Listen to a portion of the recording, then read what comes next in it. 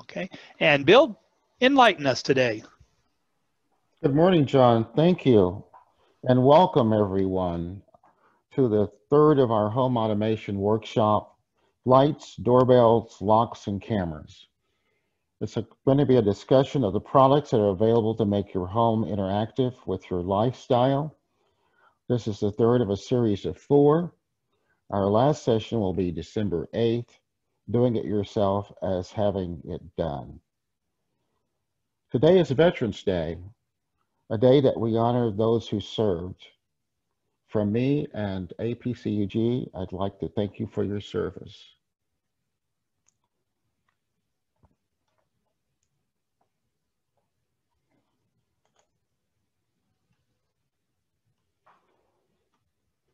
So as an introduction, we're going to um, talk a lot about the products that are really available on the market. Some that you may be familiar with, others you may not.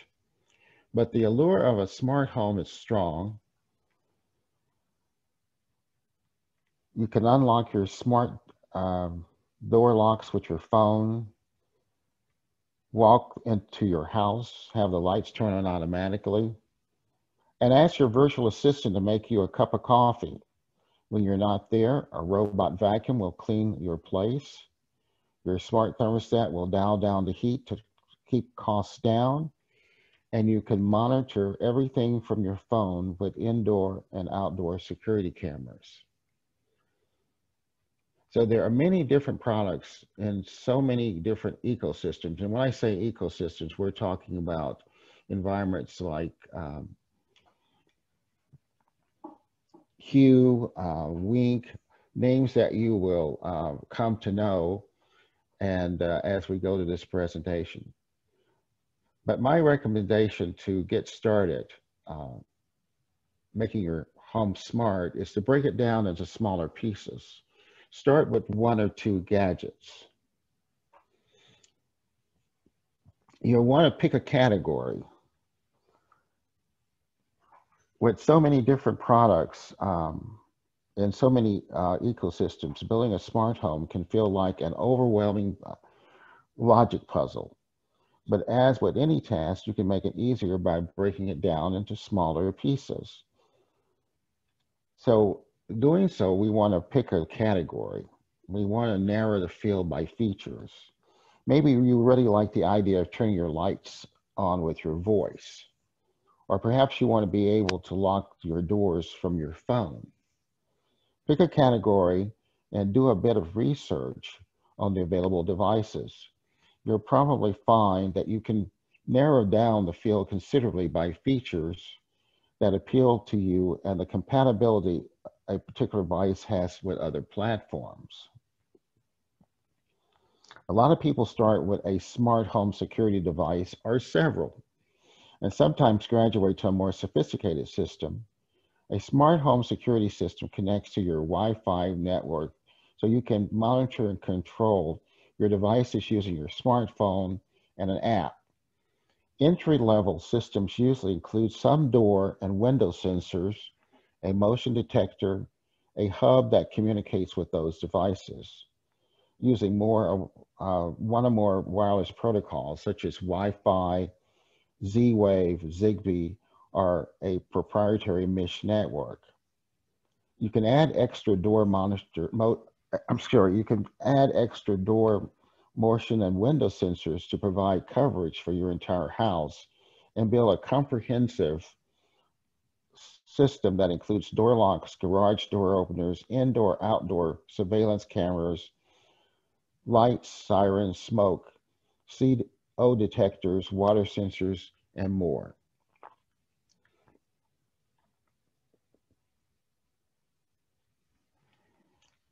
So let's begin with um, uh, lights, doorbells, locks, and cameras. That's what we're going to talk about today. But beginning um, your home automation project requires some decisions to be made. The core of any home automation project, in my opinion, are smart lamps. Maybe I'm biased because that's what I started out with. And I felt that because lights are the simplest to install to manage. Now, there's many choices, and today we will examine what is available and meet your needs and your budget. We also will discuss video doorbells and what's available, how they differ, what is required uh, for installation, as well as we'll talk about thermostats. Locks and cameras have become an integral part of home automation security. Like lights and doorbells, there are many choices, and we look at those. Uh, we'll look at those uh, today as well. So, your lights are boring. Fix that with some smart lamps. The proliferation of low-powered LED bulbs has meant manufacturers are able to add features like wireless interfaces, RGB color-changing LEDs to the otherwise drab world of mood lighting fixtures.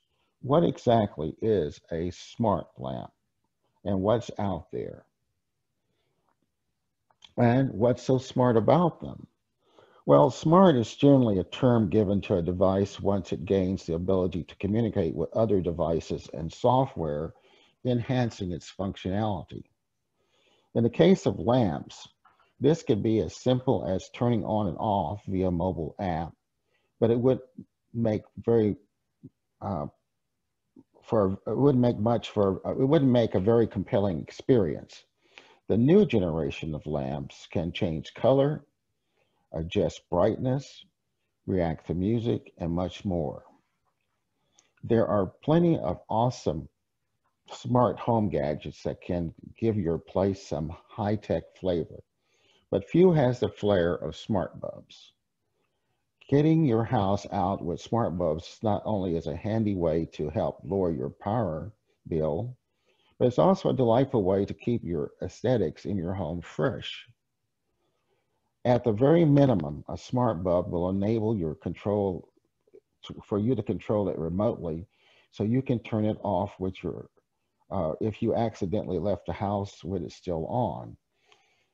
Some will let you set schedules and integrate them with smart home automation so they can automatically turn on when you get home or automatically turn off when you leave.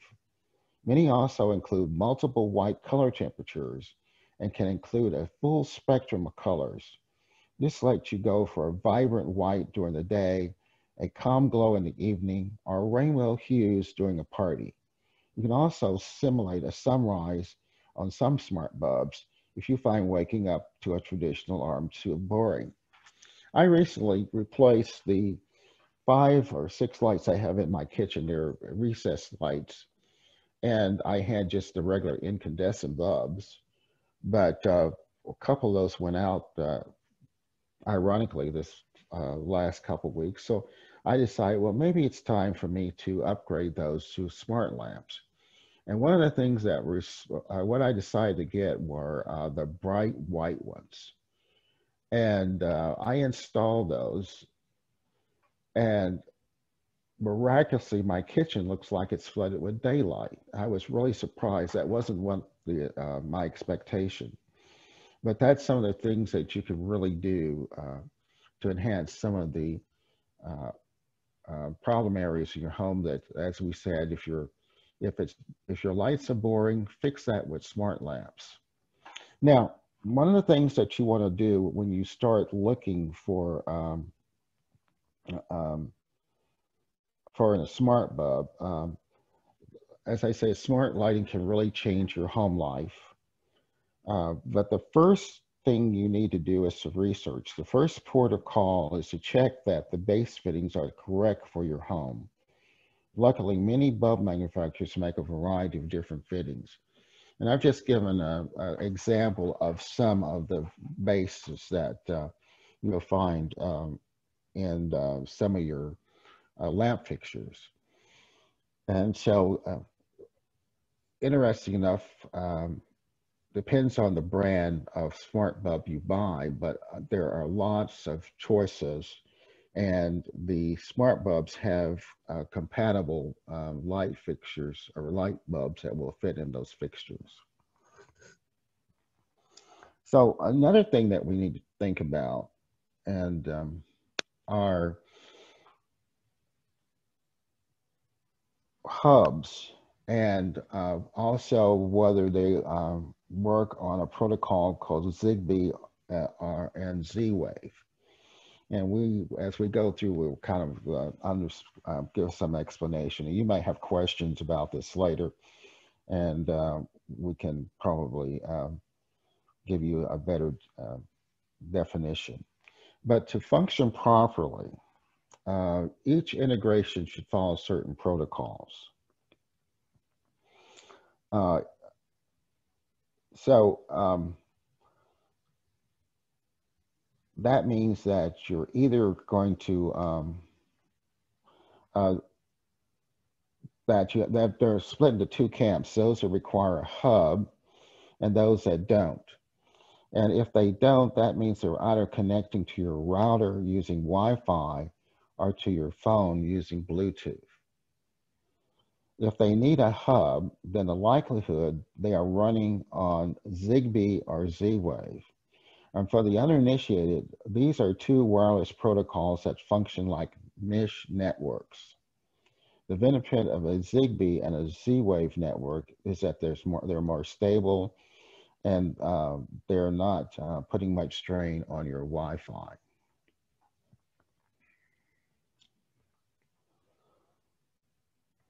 But Wi-Fi bulbs are growing into popularity due to the fact that they don't need a hub and can connect directly to your router. The main drawbacks there is connectivity. Uh, you need to have a strong Wi-Fi signal whenever uh, your bulbs are, uh,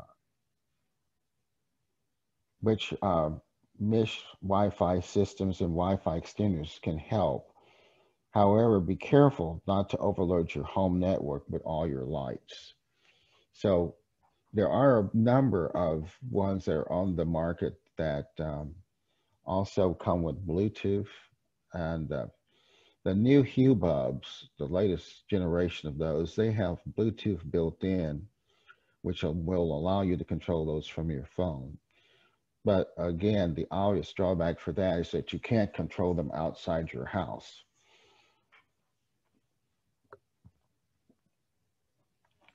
So the next question is what platforms to choose? You need to ask yourself which ecos ecosystem will you use? Do you live in an Alexa home? Is Google your friend? Or do you worship at the, um, the altar of the HomeKit? Make sure any smart lighting you buy plays nice with one another. Most bulbs will work with Alexa and Google Assistant. A smaller number will work with um, uh, the Apple HomeKit.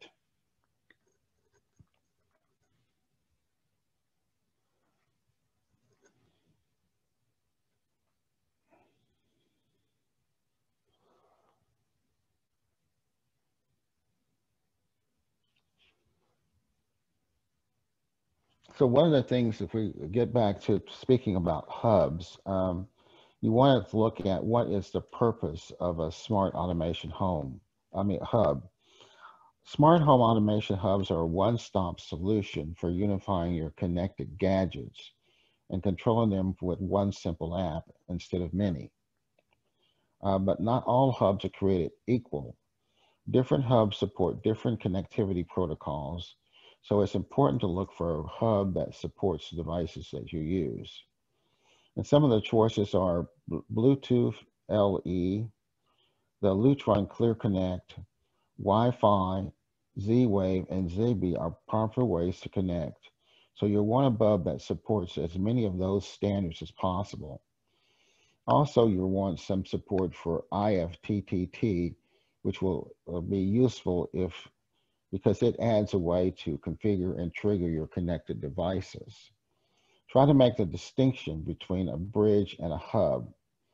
If the device is solely dependent on a proprietary hub, that really means bridge will become an integrated into the larger network with a master hub. And one of the things that you'll find out there that's really um, been um, easy to integrate is what's referred to as a Wink Hub, and that's a brand. A Wink Hub is also a device being uh, that integrates all your smart devices under one app. So it doesn't matter uh, what they are, whether you have Hue bulbs or you have um, other brands, the Wink device uh, has the capability of connecting all of those under one master control. And there, it may also allows it to be easily customized and has um, um, other features. So it's a very important, it would become a very important part to your home uh, automation network. Like other devices you download, the app to your mobile device and begin with your, which will begin with your email address and a password. If it is your first time using the Wink app, you'll sign up to create an account. And you can locate the Wink Hub at least five feet away from your Wi-Fi router. The hub has a range up to 30 feet. You can then open the app, tap add a product and tap hub then Wink Hub and follow the instructions in the app. So there are two versions of those that are available and uh, they work marvelously well and we'll talk about those some more. Bill, I, I, we're still seeing a brightness, temperature, and dimming slide. Yes, I know. I know. Okay. I'm getting, I'm getting to that. I got ahead of myself. Thank you. So, brightness, temperature, and dimming. Not all smart bulbs are born equal color temperatures within light bulbs, letting you shift from a cooler white to a warmer yellow is an important feature. As I told you about the bulbs I just bought, uh, they have the capability of going from a really warm white to a bright white. And it's, uh, it's startling how much difference it is. So um, when we get to that, we will talk about what's referred to as lumens. And uh, finally, you'll want your smart lights to be dimmable. Chances are they won't work with an existing wall dimmer in your home. Uh, but some smart light brands now sell dimming devices uh, worth thinking about. Of course, you'll be able to dim with the app voice control in most cases but sometimes you'll just want a good old fashioned light switch. But anyway, when we're talking about lumens, it's a formula to calculate uh, lumens to watts. And you'll find this in a lot of LED, you'll find that lumens being mentioned on LED bulbs. And they usually have a conversion, they'll tell you how many lumens equals the old incandescent bulb as uh, in comparison with your LED. So um, you'll find that like if you have a 150 watt um, uh, incandescent bulb that you're going to replace with a, a um, LED, on the LED, it'll say it's between 25 and 28 uh, watts. Well, that will convert to 20, uh, uh, 2600 lumens so it's kind of interesting to uh, to keep that in mind. Um,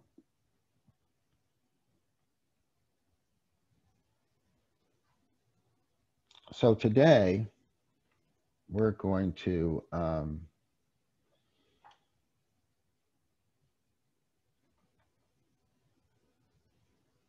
talk about the different product brands that I mentioned earlier and uh, such as the um, Philips Hue white and color ambience, the Sengled color changing light bulbs, C by GE full color direct connect smart LED bulbs, Yeelight LED bulbs, Wyze bulbs, Nanoleaf canvas, and Piece by Hamilton. Now, to begin with, the best um, uh, bulb that works with a hub, but also the most expensive are the Philips hue white and color ambience. So they have a maximum brightness of 800 lumens and a color temperature between 2000 and 65 K, which would be a wattage equivalent of a 60 watt bulb. Uh, their low uh, power consumption Uh, they the connectivity is Bluetooth and Zigbee. They're, they're compatible with your HomeKit, Alexa, Google Assistant, IFTTT.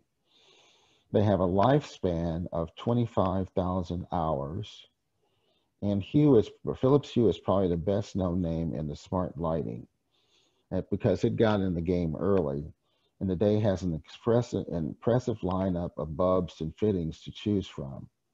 So when you're ready to go beyond the standard bulbs, there are some interesting fixtures and accessories, such as the Hue dimmer switch or the Hue lighting strips. They offer a large gamut of features such as color control, scheduling, integration with third-party apps. It's platform agnostic, working with the Apple HomeKit, Alexa, Google Assistant, IFTTT, and more.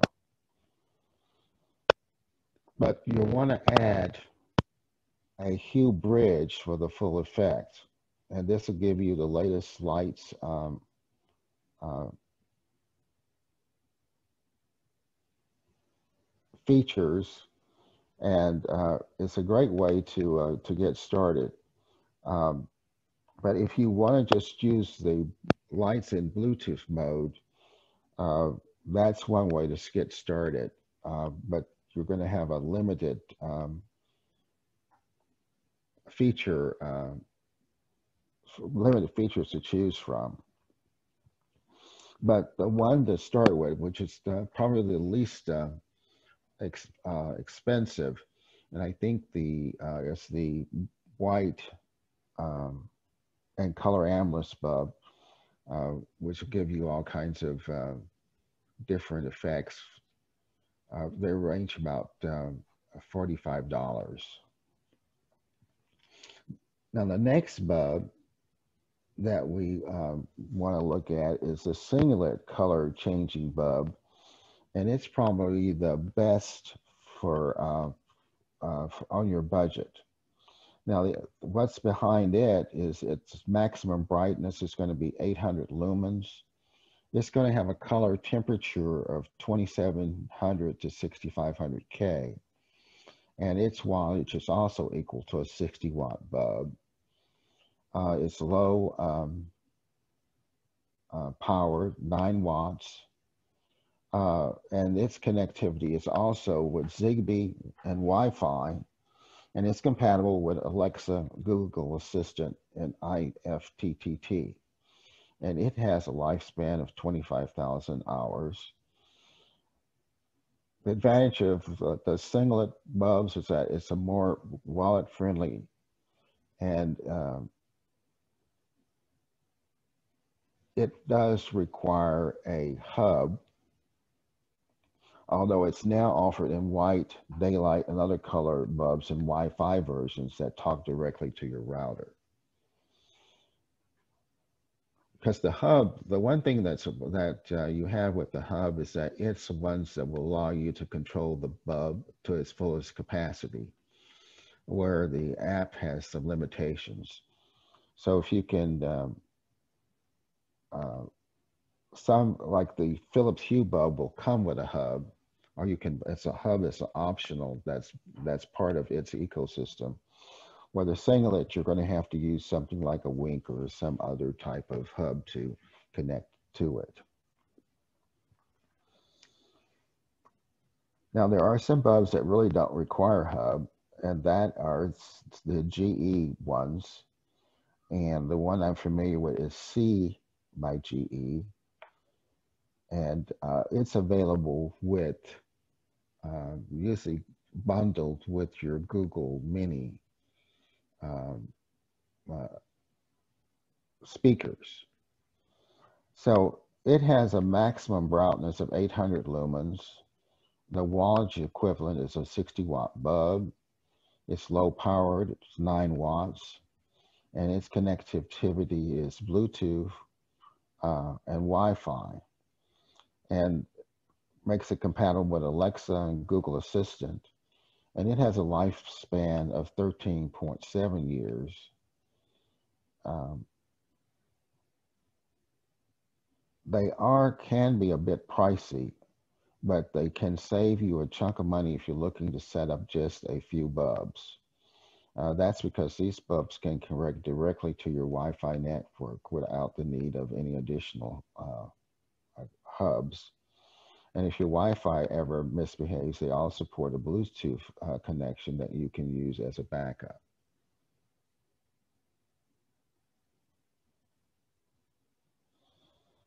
They also offer a complete smart lighting experience, and you can get an option to set the bulbs to a full range of colors or go with a tunable white that can be ranged from warm to um, a cool color temperature and you can set the bulbs to run on a schedule, make custom scenes, and even control them with your, uh, with your uh, Amazon Alexa or Google Assistant. And they're a great option if you're just starting to dab, dabble in smart home devices and home automation if you have a smaller living space. But if you're planning to go big, then a hub-based solution may prove cheaper in the long run. The next one is a Yeelight. I'm not familiar with these, but they are cheap and they offer a lot of uh, functionality. Uh, they have a maximum brightness of 800 lumens.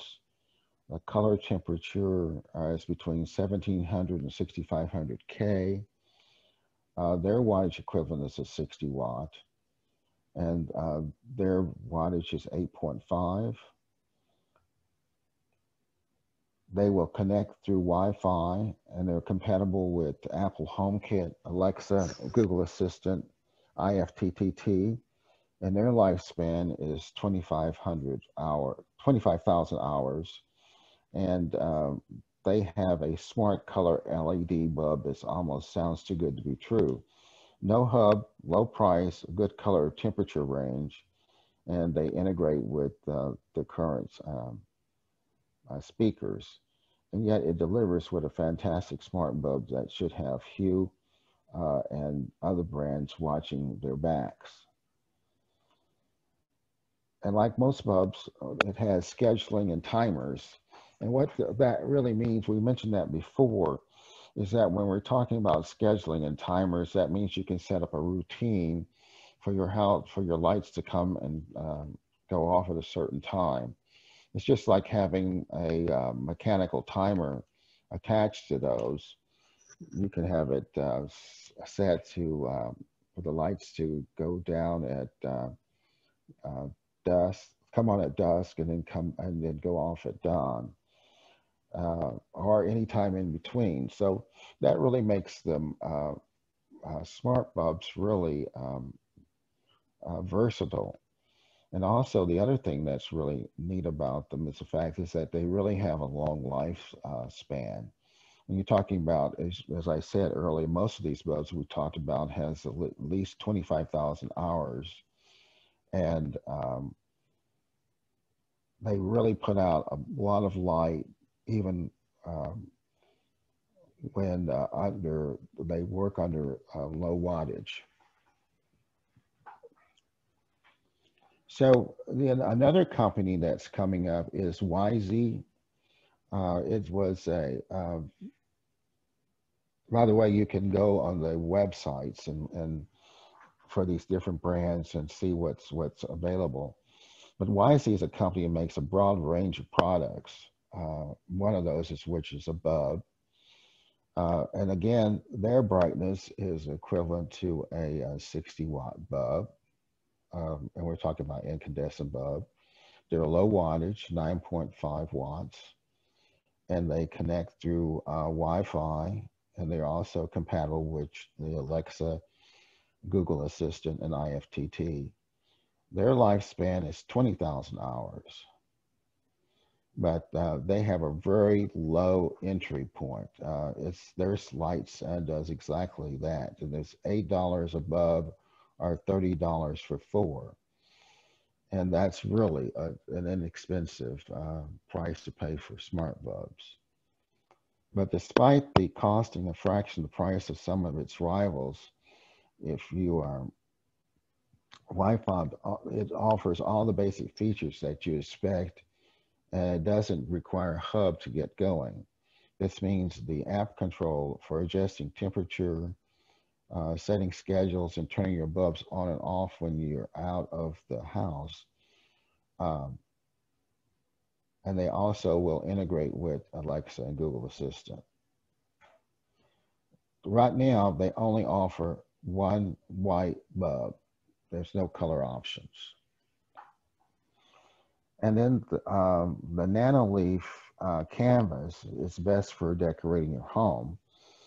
Um, it has uh, lumens of 800 lumens. Uh, it's equivalent to a 40 watt bulb.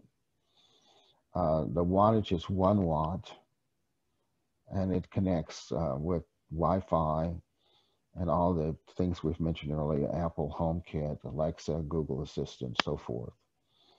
It has a 25,000 hour lifespan. Nanoleaf like uh, isn't like other brands on the list. Instead of bulbs, it makes light panels of different shapes for you to combine in interesting formations. Whereas some lights are meant to blend into the background, the nanoleafs are made to be seen. Uh, you have a choice of triangle and square panels. There um, are hexagon. Uh, there's also going to be a hexagon version available in the spring. You'll need a starter pack to get things uh, kicked off. But um, adding expansion sets until you really realize all your geometric fantasies.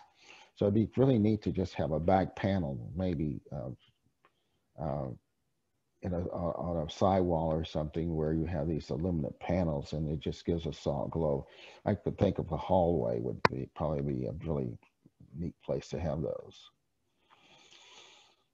And if you want, uh, to, if you need lots of bulbs, then um, Peace by Hamilton is our last um, suggestion. And um, they have an equivalent of 60 watts. And uh, they work with uh, Wi-Fi, um, Alexa, Google Assistant. Again, the lifespan is 25,000 hours. And uh, you can get a pack of four bulbs for $60, letting you uh, easily outfit a whole room with smart bulbs. Or you can get several packs um, to tackle the whole house. Uh, you won't be adding just any old bulb to your house, but these uh, with these picks either. So what happens is that you have uh, controllability over Wi-Fi, and you will be able to uh, remote control them via your cell phone, and um, they support all the other um, forms of voice recognition, such as Amazon Alexa and Google Assistant. Uh, they have a wide range of color temperatures, letting you dial in lighting for calm evening hues or energetic daylight.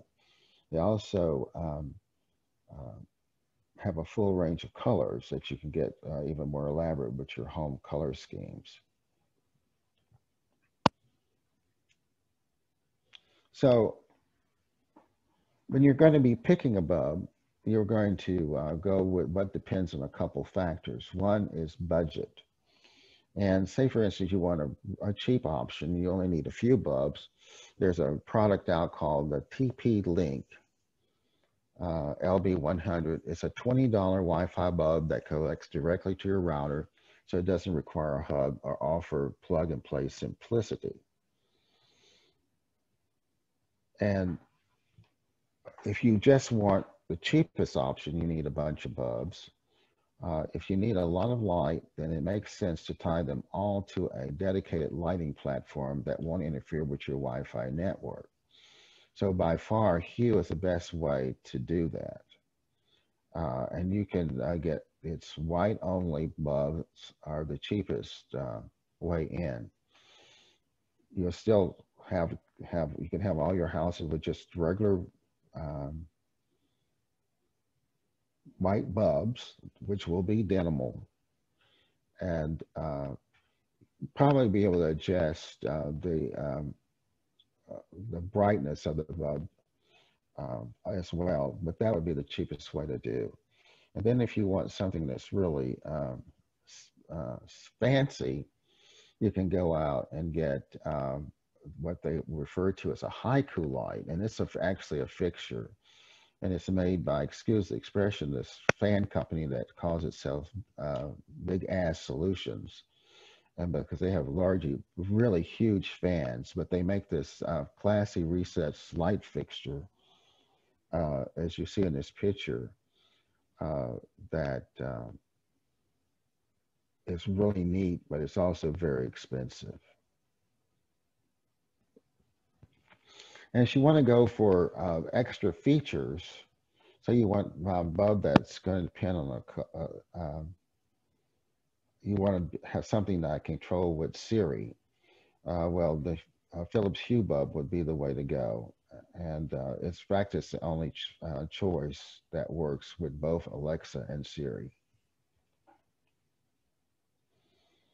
So what about the do-it-yourself option? Well, as we showed, you can pay a ludicrously inflated prices for lights that barely give off a noticeable amount of light.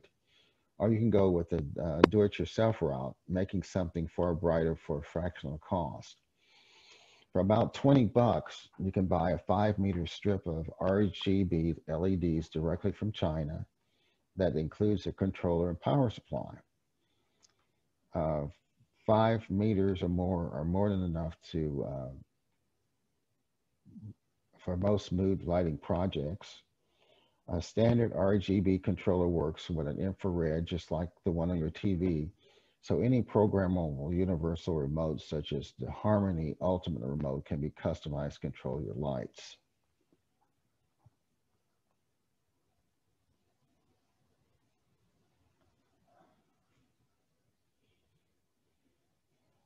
And then the Wink hub combos is a really uh, good alternative. And I looked these up. Um, and in the picture you see, you get two bulbs plus the hub. And you can, uh, this is a great start. And you can buy inexpensive bulbs from GE and Sylvania, and they will work. Um, this set here, uh, which will include the power and internet cables plus uh, the Wink Hub 2 two Sylvania Smart A19 dimmable bulbs, and it's $130 online. So once you get the hub, then it's just a matter of getting it programmed and then adding the lights as you go along. And so the initial expense is going to be high, but uh, as you go and replace the uh, bulbs, uh, you'll find that uh, the cost will be uh, a lot less because first of all, they're LED bulbs. They're not going to last. They're going to last a very long time. You won't be replacing as often as you do the old standard uh, incandescent bulbs.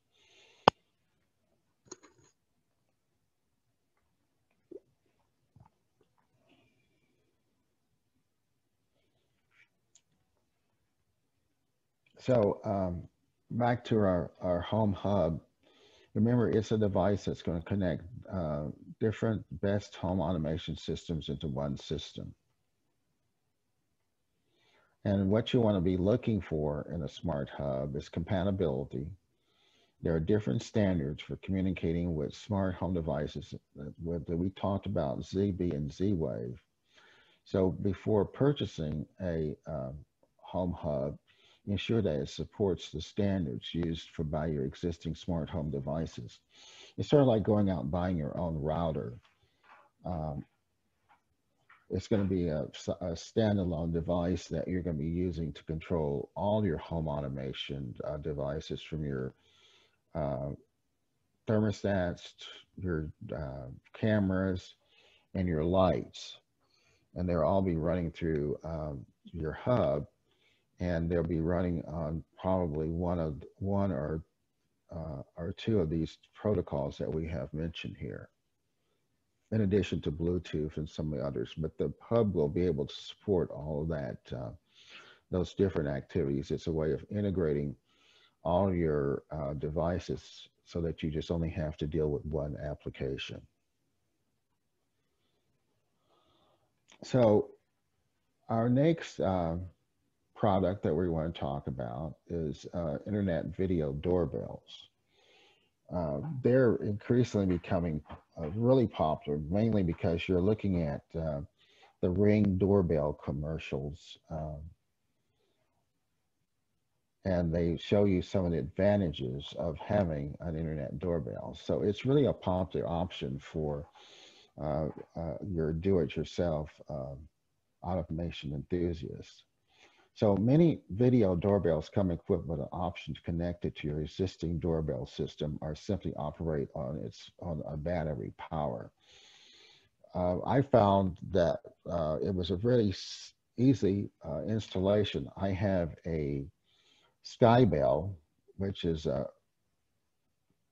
which was an early um, product. It was out before the Ring doorbell, but um, my home has a wired doorbell system. So for me, it was just a matter of removing the old doorbell and then connecting the the, the two the existing wires to the new doorbell, and then getting it um, uh, connected to my Wi-Fi. Now the thing about um, the doorbells is that if it's a wired doorbell, that means it has a, a, manual chime that's located in another part of your house, a striker. Uh, and um, so you need to know the difference between that and electronic. If you have an electronic doorbell, that means that you have um, some sort of means of that button on the outside of the house to, commit, to communicate with the uh, indoor system. And the, your indoor system will have some sort of speaker device that you see rather than having a, a manual um, striker. So that's something you really need to uh, take a look at. And some of these doorbells, the Ring particularly comes battery operated so that you uh, don't really uh, need to um, bother with the wires if you don't want to. You just replace it with the battery version and uh, then put the um, companion speaker someplace uh, in your home. But uh, determining what type of video uh, doorbell uh, works best for you, there's a number of things that you want to consider. One is installation difficulty. You want to consider the design, and when I say that, is that if your current doorbell is uh, narrow and you have a narrow facing to put it on, then you don't want to buy one that is too um, large to fit in that space. And then you also might want to take a look at one that's going to be integrated into your existing home security system. So um, video doorbells um, and home automation has improved significantly over the last couple years by adding streaming components. And some models to choose from is the Skybell HD, which um, is the one that I, I own. And whether a day or night, you can clearly see who's at your door.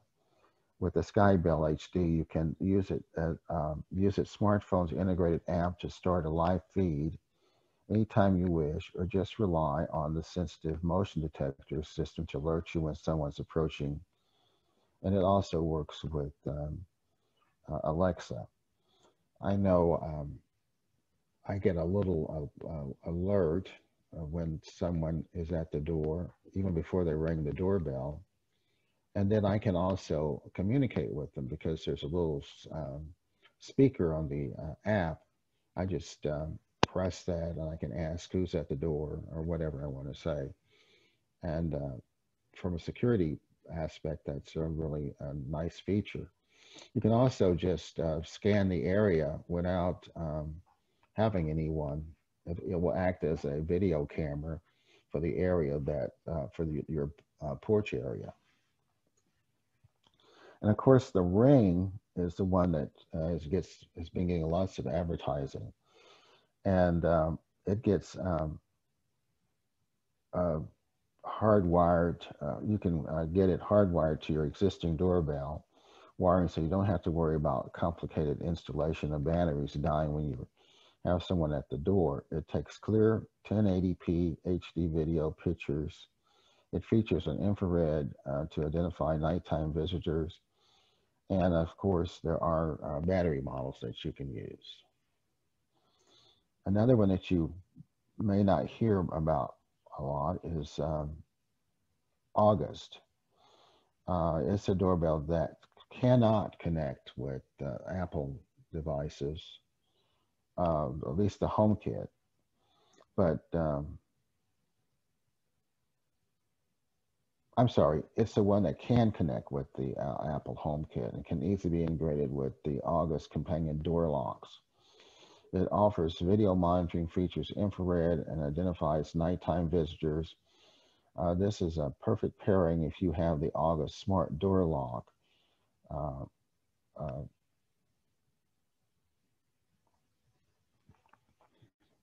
which will segue right into door locks. Now, internet, uh, internet door locks, the, the, uh, what's common to all of them is that you can control and manage with smartphone and web applications. Uh, the same considerations that you use for choosing your uh, uh, video cameras would also apply to door locks. Uh, there are some quirks and perks that we need to talk about. One is the operating range and the difficulty in installation and how well they integrate with your other devices. So some um, door locks require you replace the entire lock system while others will let you place a smart device over your existing deadbolt. Uh, so you might need to um, to take a look at that when you're uh, that that's a nice option. Is that it just replace rather than re replacing the existing lock, it just fits over it, and then the mechanicals uh, interact with the existing uh, mechanism. So some of the products that you can look at are, is the August lock. And it's a, the most elegant one. It's uh, on the um, video here. It's the round one that's at the near the bottom of the, the screen. The, it's the uh, gray one that's um, it's a circular uh, and it will replace your old deadlock, um, deadbolt and you'll be able to control and manage it from um, your um, Apple device, your Android, or web app. And they no will notify you when certain people come in and out of your house and let you give unlimited digital keys to friends and family with a specific hours of operation and how long they have access. The lock uses Bluetooth and recognizes um, uh, uses your phones as a digital uh, key.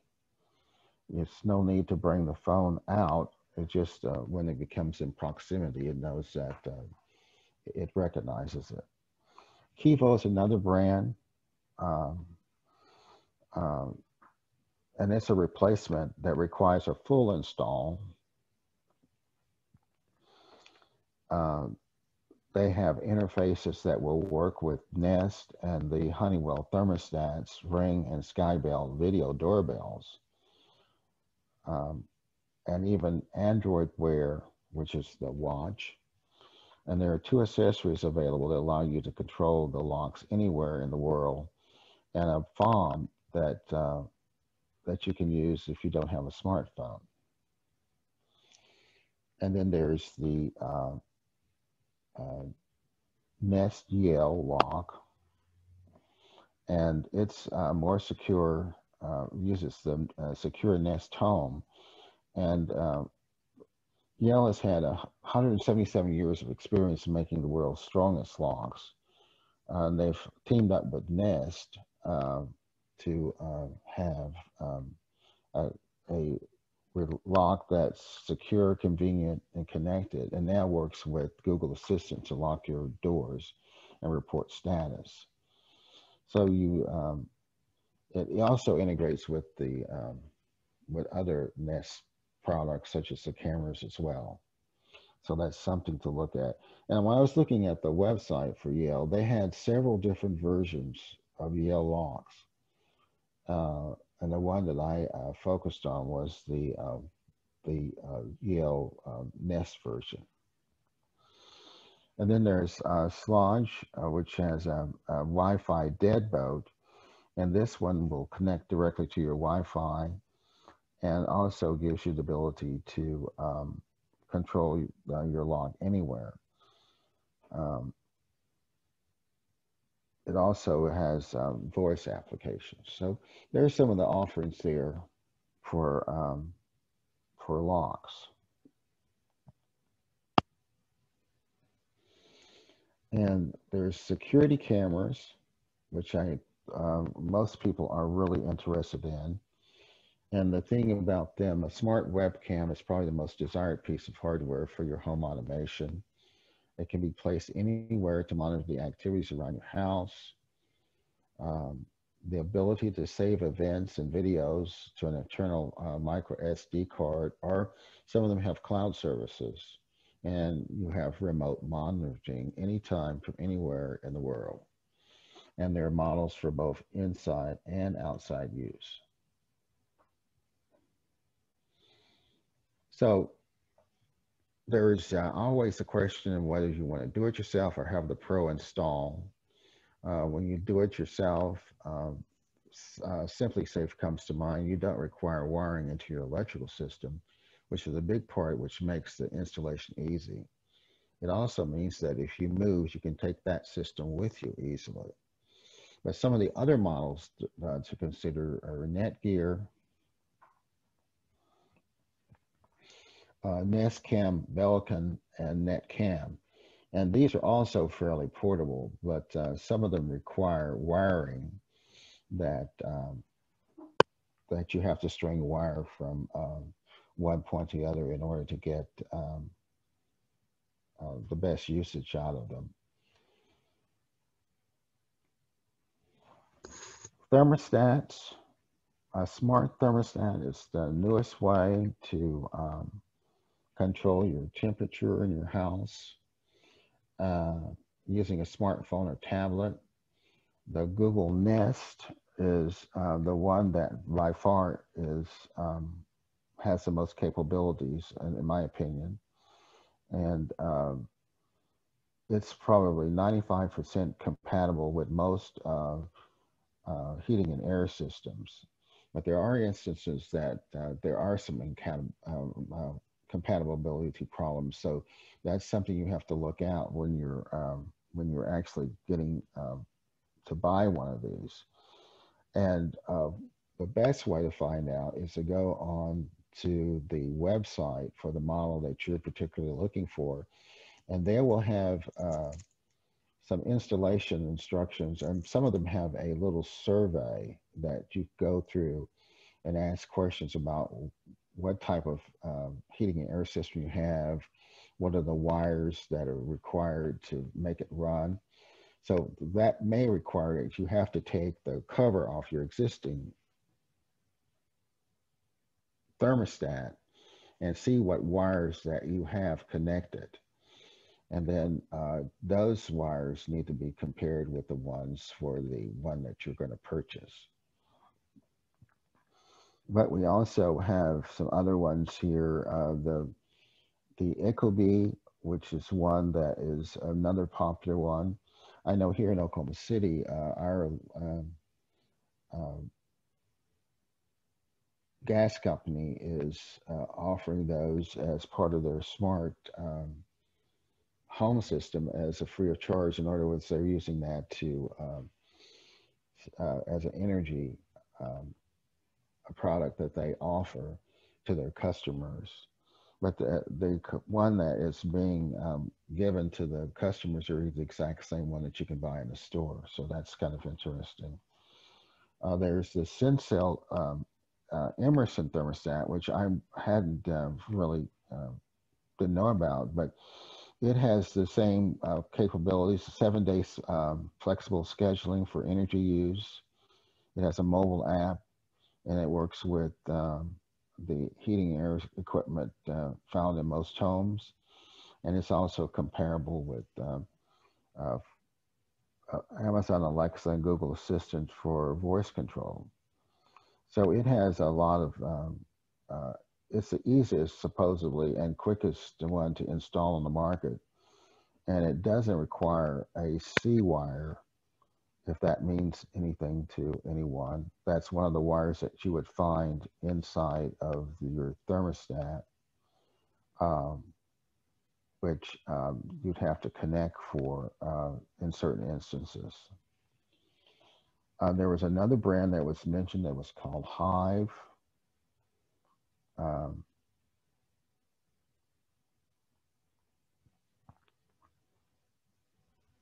and um, and then there was the Lux Geo. So these are some of the ones that you can uh, look at. And again, budget is what you want to look at and features. And then there's the X10 alternative. Um, X10 is something I've mentioned before.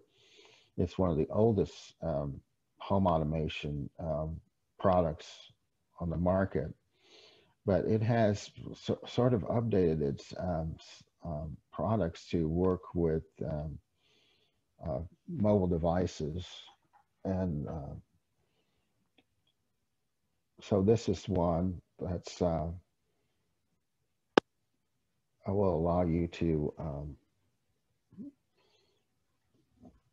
turn on uh, ceiling fans and open and close dampers and, and also adjust um, the um, temperature.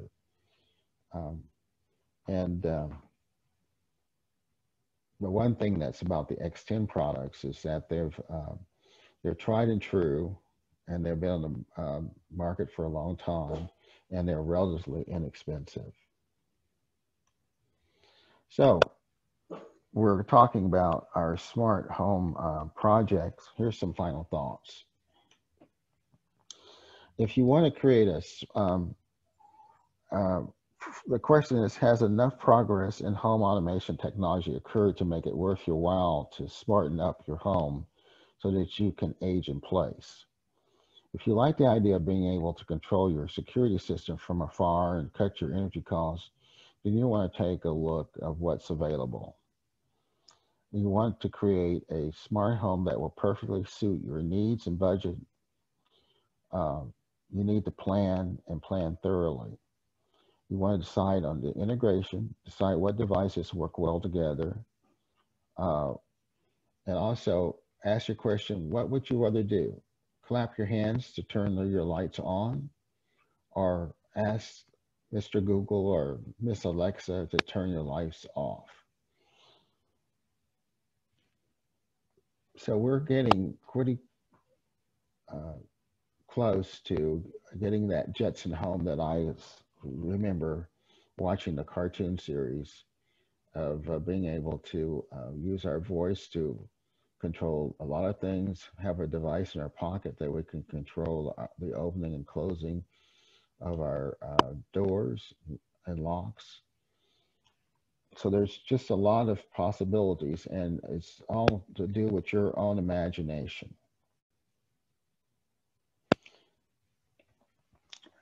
So we have some more workshops coming up. Um, the last of the home automation ones will be part four, as I mentioned earlier, December 9th. And we're talking about doing it yourself or having it done. And we will um, kind of uh, draw on some of the comments that we hear today to to um, to formulate that uh, workshop. So if you still need to um, register, then uh, well, if you're here, you don't need to register. But if you have friends that want to um, participate or see this last one, uh, that's the contact information. Uh, along with that, there's going to be Linux workshops with Orv Beach and he's um, is the Linux Expo Scale Guru, along with um, John Kennedy, our APC advisor, and Sharon uh, Kawani. He's with the Southeastern Michigan Computer uh, Organization. Uh, part one has already taken place, but part two will be November 18th, getting and installing Linux. Part three, December 2nd, distros and desktops. Part four, December 16th, software applications and package management. Again, the contact person is Judy Taylour. And that completes our discussion for home automation as far as cameras, lights, and videos products. So now we're open for any questions or clarifications uh, in the discussion um, we just had. So I will now ask uh, John to uh, open it up for questions. I'll check with Judy first to see if if she has uh, questions that came across her chat. I've got a couple, but I'll see if she has some first. Go ahead and ask yours, and then let's open it up to the floor. Okay. Uh, the chart that you showed earlier with the bulb base uh, are in millimeters. Is there a base chart that converts it to English? And the same thing, the bulb temperatures are in Kelvin. Can you get a chart that converts to what we understand better? That's a good question, but I don't know if someone else will have to, let me share my video. Someone else will have, I didn't see one. I mean, I think um, all those measurements uh, currently today are in those uh, values. They're kelvins and uh, millimeters. I had another question for your uh, answering. Sounds like X10 is not a smartphone controlled device. Originally, it was not. Uh, they have adapters that they have come out with that allows uh, you to be able to control that. One that I showed you at the end was one that uh, is an adapter which will allow you to use your smartphone and uh, uh, to control it. They're gradually moving into a more uh, into the into that area now. But originally they had some of their stuff was just strictly proprietary, but uh, that you had to have their controllers. But now they're uh, having devices that will, uh, or adapters that will allow you to um, make that happen. Okay, uh, here's how things uh, will work well with a huge number of people that we have. Uh, you're welcome to turn your cameras back on if you want us to be able to see each other. And I'm going to check the box to allow you to unmute. Uh, on your taskbar for your Zoom, you have a button that's, or, or it's in your um, uh, thumbnail that you can raise your hand. And what we've decided after a couple of these sessions is with so many screens, we would have to be flipping back to find somebody who's got their hand raised up, is that if you go and check the box that says raise your hand, we easily see it on the participants list. And then we are able to see who needs a question without having to try to find you. And so we're going to do that way. Uh, we'll also take questions in the chat box if you you know don't want it. So I, I'm going to and, check. And John, I noticed yep. I have some uh, some comments in my chat box. Oh, I I have two questions. Go ahead.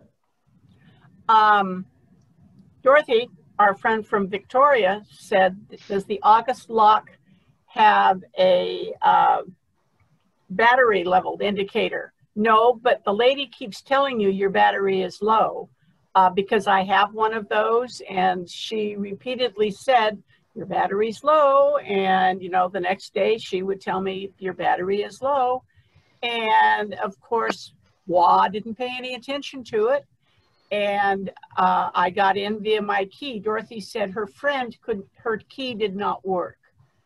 And it was extremely easy to replace the batteries like I should have done in the first place, the lady said yo, Judy, you know, your battery's low. So you need to keep, you know, pay attention to the verbal cues.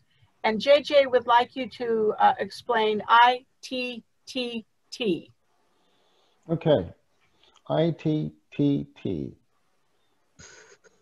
That's a good question. uh, it means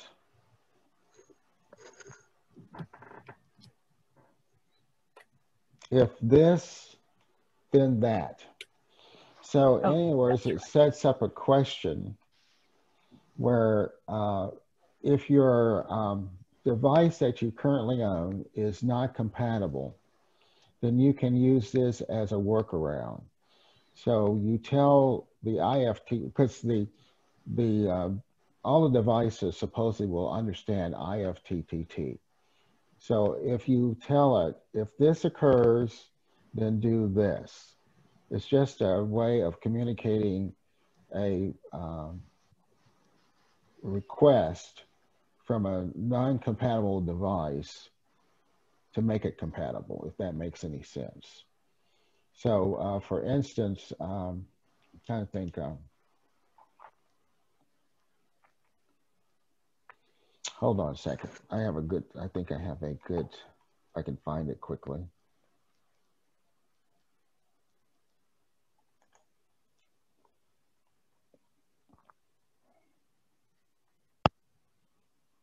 it be if the front door opens, then the living room lights turn on and the music starts to play? That would be a good example. But to make that happen, uh, um, some devices are incapable of following those commands on their own. So the uh, the example that you uh, stated would be a means of allowing that to happen. In other words, there's nothing that you can uh, um, that you have that when you open the door, that's going to automatically tell your light bulbs, to, your lights to come on, unless you have something like a motionless uh, uh, uh, detector. But in this instance, the trigger would be your lock, which is an automated device. It knows that that lock has been activated which will then trigger your smart lights to come on because it's got a signal that's saying, oh, that door opened, so that means I need to turn the lights on. I have another question regarding to the lock. Uh, it's what is the life of the batteries? Well, when you buy something with batteries in it, we all know that they kind of go almost semi-instantly. And I checked with my um, oldest daughter's husband and I said, hey, you know, how long did your original batteries last? He said, not long. So I put, you know, good batteries in there and these are going to last a lot longer, but I have no clue how long they're going to. And I think if I ever did it again, I would probably automatically replace the batteries as soon as we installed the lock sort of like ink that comes with your printer when you buy one. Got it. Absolutely. Good. Hey, we've got some people have found that little button for uh, asking questions. So we'll start with the list. First come, first serve. Gabe, Gabe Goldberg.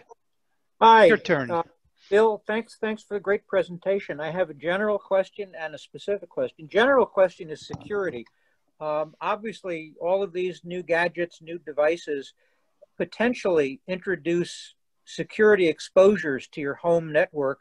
And if they're controlling your lock or your thermostat, they can be more exciting than you want them to be. That's a general question, just tips on how to tell which systems, infrastructures, ecosystems, devices are more secure than others. And the other question is, a, is specific for me. Uh, we really don't have any home automation. We've got a bunch of handheld uh, remotes that turn on and off different outlets, and they're convenient as far as they go, but they don't go very far. Uh, we have four Apple devices. We have two iPads and two iPhones, and I've been looking at the new iPod Mini, the $99 smart speaker that you can yell at and tell it to do various things. So my question is, given that we've already got four devices that will answer to Hey, S-I-R-I. I don't want to say it because I've got several in the room where I am. I'll say it. I'll um, say it. no, don't do that. Wake up half the people on the call's devices. Um, the question is, do I really need a HomePod rather than just talking to the devices that I've already got? and it sounded as though you thought the Apple ecosystem was a little more limited than than some of the others. Um, at the same time, there's appeal to being able to use the devices that we've got, or if we get the HomePod, integrate those with the devices that we've already got rather than starting something from scratch. Well, the HomePod, and I didn't realize they had one for $99. That's that's that's uh, exciting. That's probably one of Apple's new offerings. What it will do, it will tie those those four devices together that um, you can be able to uh, be in any place. Uh, you don't necessarily have to have carry the device with you. You don't have to necessarily have your phone with you. You can just yell the uh, uh question or query to that uh, speaker. So that would be the one advantage I would think of having it.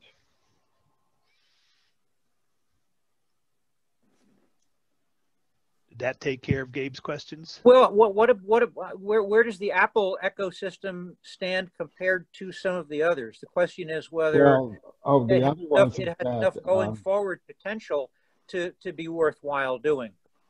Uh, to be more um, open, I would go with a Google um, Mini myself because it will um, interface with some of the Apple devices.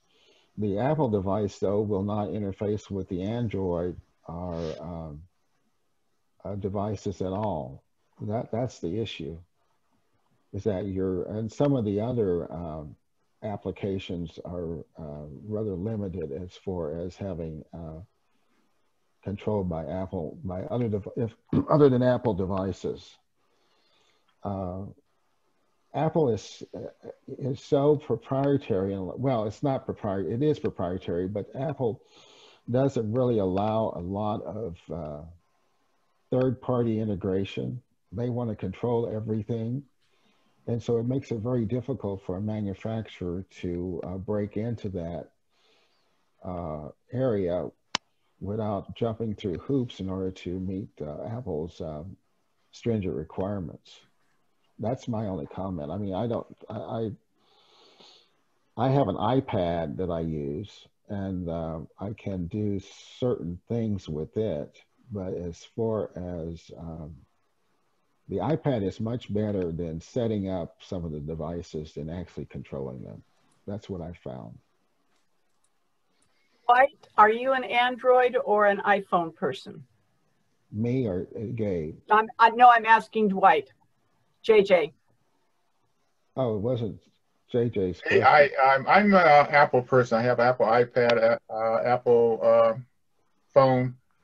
I think I have an Android somewhere in the dust pile, whatever, or Android, but other than that, no, no, mostly Apple and PC. I just thought he might be able to answer Gabe's question. No. No, it's uh, it's really what you can, but Gabe, what you can do if you get a Google Mini, you can bridge a lot of those issues. Well, um, that's that's interesting. I actually have a Google Mini that I won in a user group raffle, and so I've got it set up, and all I do is yell at it to play different news stations that I listen to, but I've not taught it to do any other tricks. So I've sort of got one toe in the Google ecosystem and four toes for the four Apple devices in the what's Apple. The four, what's the four Apple devices that you're trying to control? Well, it's not that I'm trying to control. We've got the two I, I, iPads and the two iPhones, and it just. but you can you can install the Google Assistant on those iPhones and your uh, iPad. Ah, okay, okay. Uh, obviously, more research to do.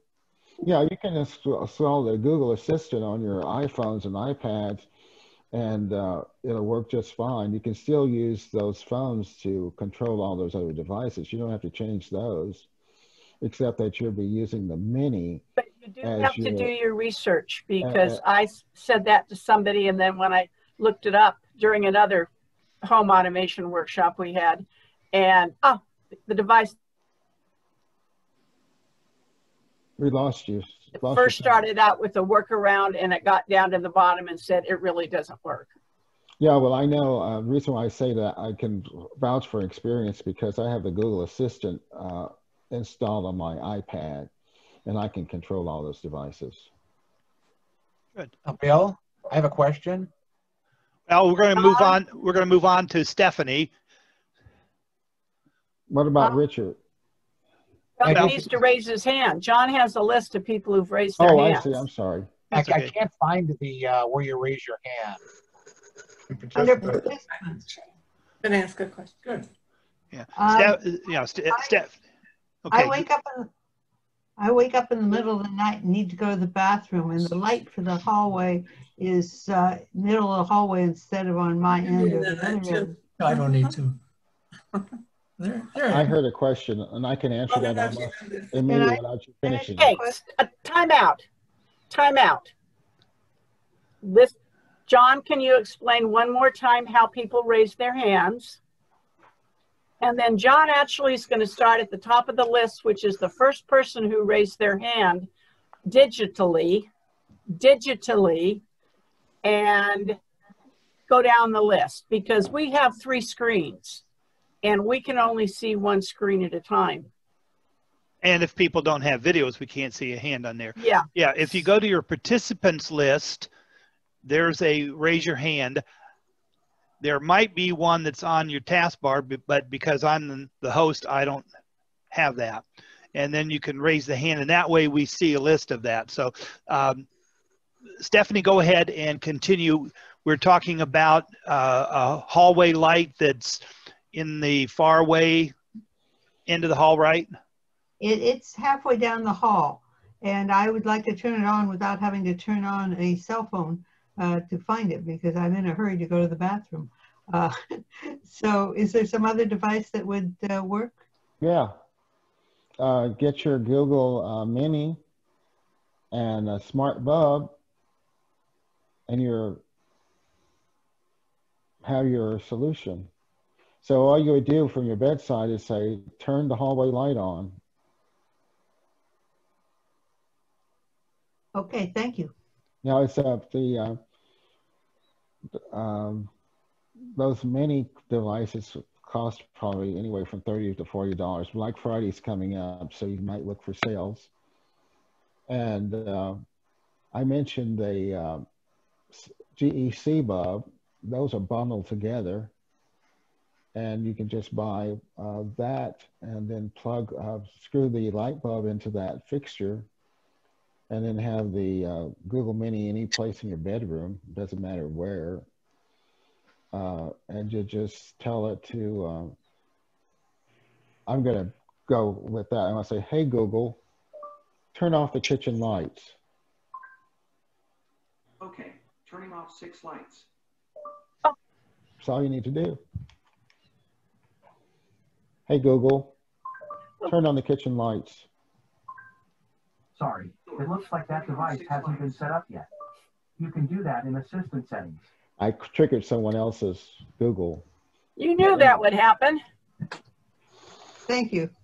Google's a company dedicated to organizing. Oh, stop. Okay, Oh, John, who's yeah. next? Ed, Edward Kenny, our good guy. Go ahead, Edward, unmute. Hello, Bernice. Okay, if you have a, a door with more than one lock, how do you handle that? Have a what? More than one lock door. Front door, back door, side door. Front door, Yeah. two locks. Oh, two. How about if, how about on if the- you ask that question slower? Okay, uh, if your front door has two locks, like like a deadbolt and a knob lock, how do you handle that with a smart lock?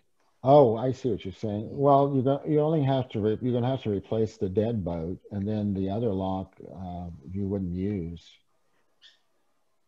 You have, to make sure somebody doesn't. Uh, uh, you might have to remove it because somebody's going to lock it manually there, and you won't be able to unlock it then. With the, Yeah, you're uh, you may you're probably going to have to re- replace um, uh, both. Um, replace the deadbolt with the smart lock, and then the other lock, uh, the other uh, lock, you're going to have to just dis- disable. okay, another question. Uh, uh, is there any way to mix smart and unsmart lights? Sure. I have smart and unsmart lights. I have um, like the lights here in the kitchen I just replaced, but uh, there are other lights in the house that are not smart. You, te- you I mean, if you have like, well, you tell you have them which fix- light. Go ahead. if you have a fixture with four lights in it, you have to put four smart lights in it. If you could put smart lights in it. No, you just have uh, one light in there, and that's that bulb is going to come on. Okay. You leave the light. Well, you don't want to do that because the light switch has to be turned on for it to work. So uh, if you have the light switch in, those other bulbs that are in, they're going to always be on. Okay. So um, it's best to uh, replace them all or take the bulbs out of those fixtures. Okay, that's all I have. Good. Beyond, Guanta Pierre?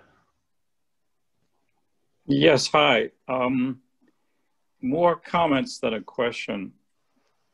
On IFTTT, uh, let me give you a different example that may resonate more with the audience, one that I'm using. Uh, you can set your smartphone to uh, detect its location. And when the smartphone moves outside of a circle that you define, centered around your house, for example, uh, it could automatically turn on or turn off a, uh surveillance camera. Uh, that's what I'm using when I leave my house and I'm away more than the radius of that circle, it will turn on the camera. When I re-enter that circle, it turns off the camera. Right. So that's one example. Um, Geo in terms of it, I'm sorry. Go ahead, uh, I Jake. said referred to as geofencing. Correct, correct. Uh, in terms of security of those devices, uh, I think it's the responsibility of whoever is installing it to make sure that the Wi-Fi password that you're using for your Wi-Fi is a very strong password. Make sure that you're using the latest Wi-Fi capability on your router, mainly WPA2, and if you have a more recent router, use WPA3. Uh, so that's a, a, another thing. Um, finally, in terms of um, the, the lady was asking about turning the light uh, at night to, to go to the bathroom. Uh, I'm surprised that nobody mentioned uh, a motion detector that uh, a light coupled with a motion detector that could automatically turn on when motion is detected. That would be even easier than trying to tell your smart speaker to, to do it for you. And I would agree with that, but the only difference being is that uh, the light would not come on until she actually got of bed to reach the door. Where It all it all depends when the motion where the motion detector is located. But I just wanted to mention that Yeah. possibility. Uh, but, uh, but those are good points. Particularly, I, I, I failed to mention that about the, the router, and I think we talked about that in our last uh, installment about having uh, a up-to-date router and having strong passwords. Bill, would you do me a favor and unplug your uh, mic system and plug it back in again because you're crackling and popping and carrying on. For me, Yeah, you. I don't know that that'll work, but I think That's I'm, mo- that's that's a thought. That's I, a I think thought. I'm moving my uh, the, the mic was hitting my uh, my shirt. uh, you, you're just pop, the- pop, popping. I had the you, You're still crackling. You're still crackling. Oh, I am. Yeah, actually unplug it. Although Grammarly would tell me not to use the word actually. Right. Okay.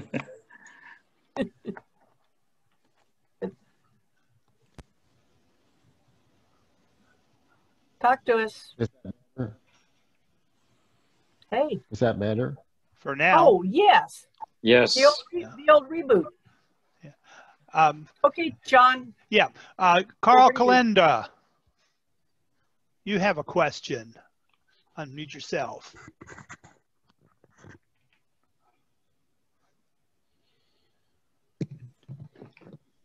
I was going to uh, comment on the uh, some of these uh, solutions are overkill. And like the one with the motion detector in the hall, I have a, a night light that uh, in my hallways that come on, they're very low, you know, um, current and they just come on with day and night lights. So I, my hallways are always lit up.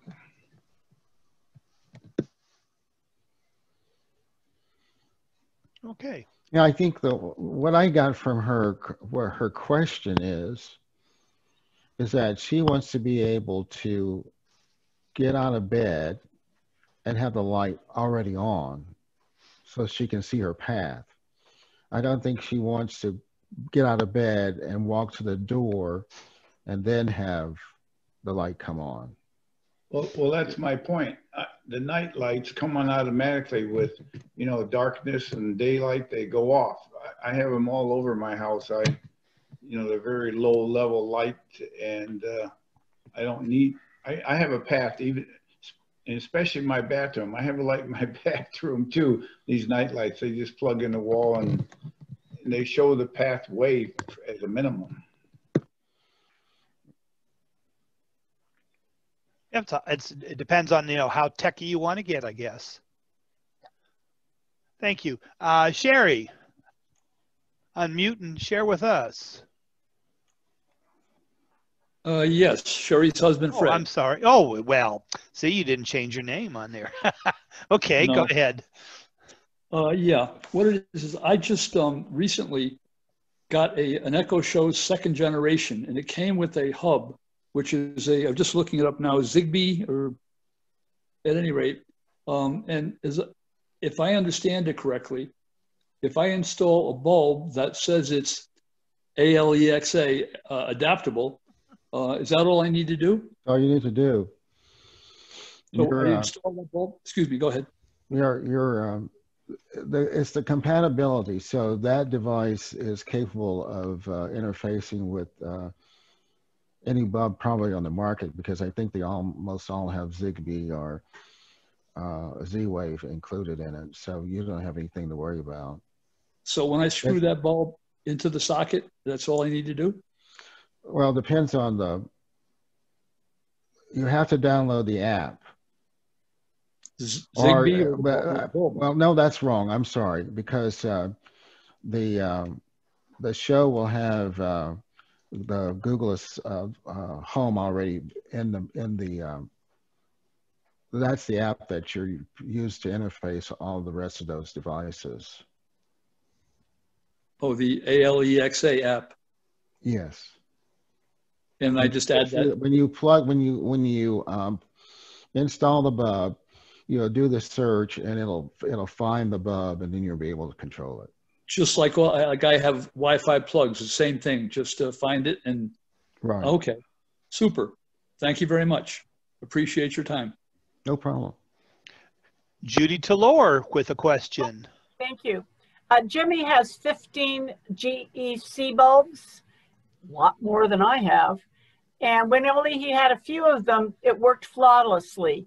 Now that he has so many, they lose their connection to his router. And he has to reset them, and that is painful. Uh, do you know if the GE C bulbs can be hooked up to a hub? They can. So um, what I would suggest you do is get um, the um, what would I say? The one I forgot. My memory is losing. Um, we talked about.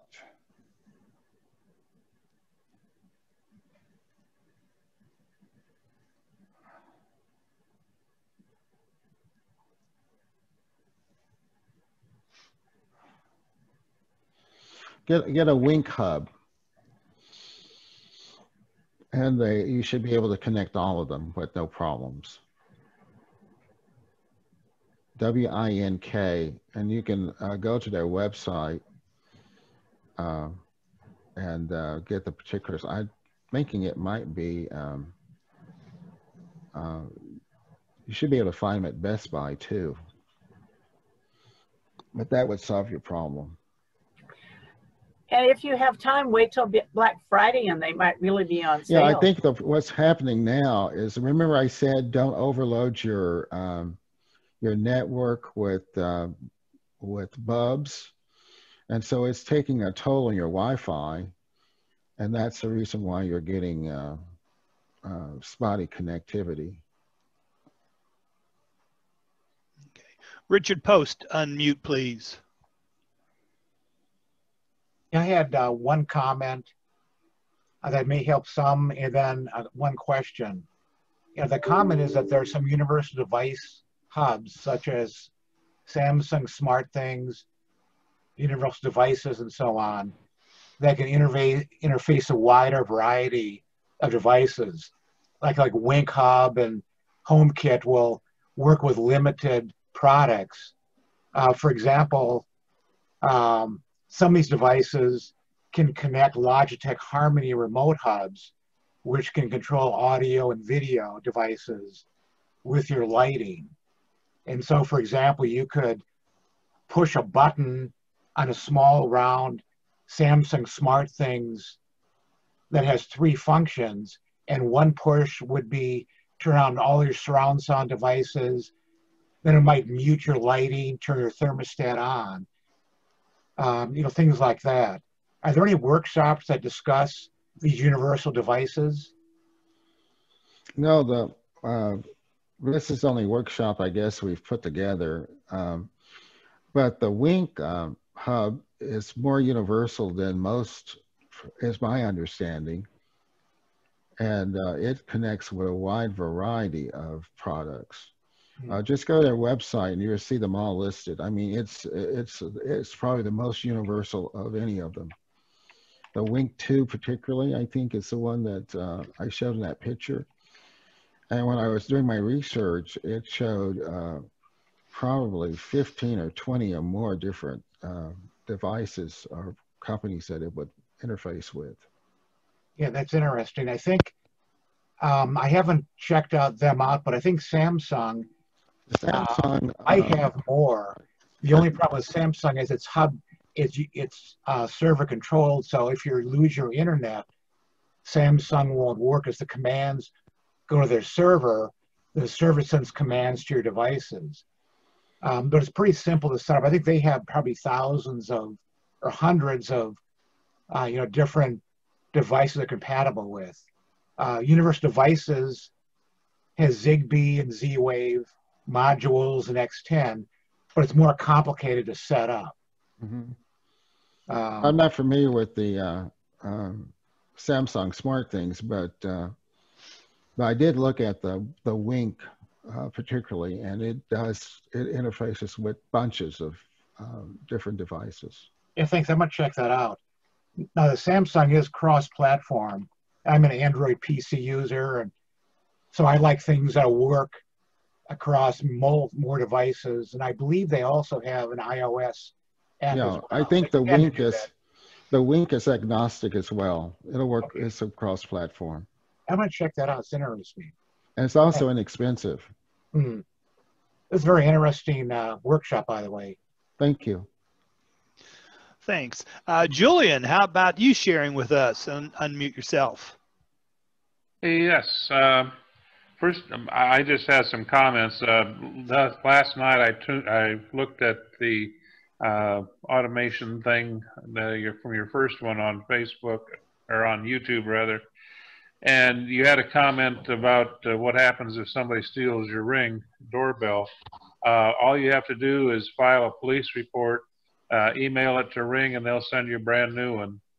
Uh, also, speaking of Ring, Ring and Nest are have just this most superb uh, customer service that I've been across in the industry. I mean, they take you by the hand and just just take you right to your final destination. Uh, they're just unsurpassed as far as uh, helping you out. And uh, uh, I use the Schlage uh, deadbolt and latch. And as Judy was saying, you know, it'll warn you in ample time before the batteries run out. But if you should ignore them and it does go out, the uh, the latch comes with a key, and the uh, deadbolt has terminals on it that just look like two little raised bumps. So you put a nine volt battery across, and then you can just that'll supply the battery power to open it up. And um, so, in any event, I I like my bells and whistles. Yeah. Julian, we're having fun. What can I tell you? I'd like the to way ask, it should be. yeah, I'd ask, ask Julian with the battery with the two bumps. I hope that's on the inside because if I'm on the outside, can't I just go around use the battery to open up everybody's lock? No, that uh, that supplies the battery. You still have to put the code in. Oh, okay. Thanks. Yeah. It wouldn't do you much good on the inside because that's where you take it apart, to put the battery in anyway. Uh huh. Pierre. Yes, again, I'd like to make a comment on what was said about using a hub with uh, when you have 15 bulbs that don't stay on uh, on your Wi-Fi. Given that a router that's working correctly should be able to support 254 devices, 15 is absolutely nothing. So if those lights, uh, those bulbs, I should say, do not stay on uh, correctly, I would point the finger at the router. There's something going on with the router. Maybe it needs a reset. Maybe it needs a firmware update. Uh, maybe the number of uh, IP addresses has been limited. Uh, but buying a hub in this case, to me, seems like throwing money away. Okay, who asked the question? Um, I don't remember who asked the question about the well, bulbs. the next question to uh, ask him is what has he done to try to correct the problem? I thought I understood Jimmy. him to say, I thought I understood him to say he had rebooted the router several times. Oh no, I went to, I went I went to two different routers, and now I'm on a G3100 by Verizon. Yeah, he's. Uh, I, I'm not sure. I, I'm. I'm not. I haven't. My, my bulbs are not running on Wi-Fi, so I don't know quite what the situation could be. But it's just my feeling is that uh, there's uh, there's just too many of the same type of devices on that that's running. That's causing the issue, but. Jimmy, Uh, whose wi- whose Wi-Fi are you using? The name of the company. Verizon. Verizon. Oh, gosh, I thought it might have been Spectrum. Oh, Jimmy, another question gets for that. you. Another question for you. Are you having any other difficulty with your other Wi-Fi devices? None whatsoever. Pardon? Not It's just- none it's just- whatsoever. It's just the bulbs. Yeah. Yeah, I think it's. I think that it's. I think that's the problem. Is that the I think Okay. that's a question for your friend Google. well, I don't know if they'd answer that, but what I would do is, um, of course, the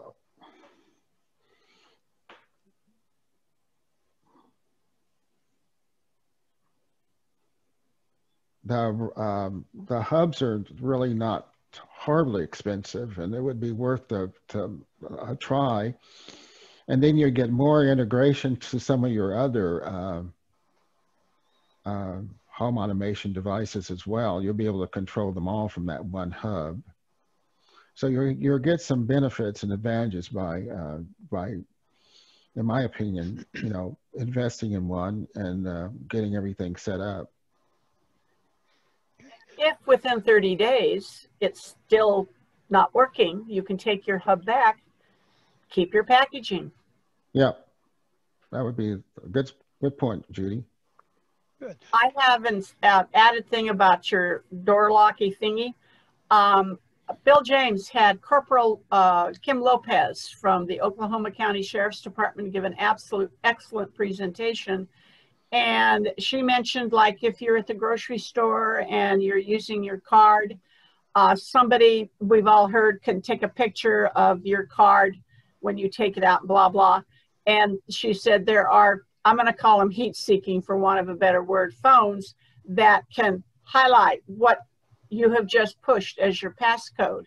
And I thought, gee, the same thing could happen to my um, smart lock as I my doors.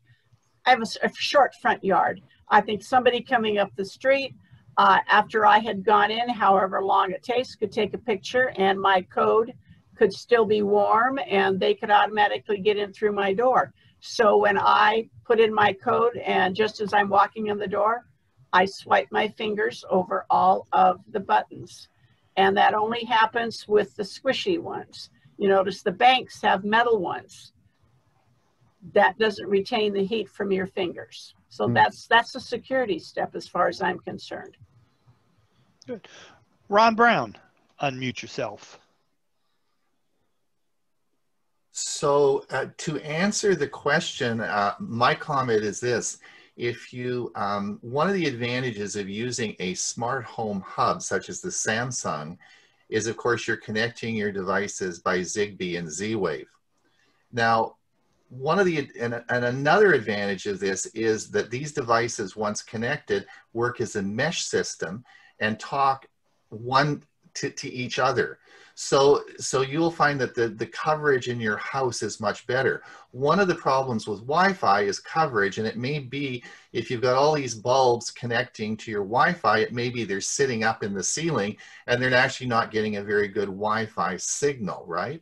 So it's, it is always better to connect through a hub.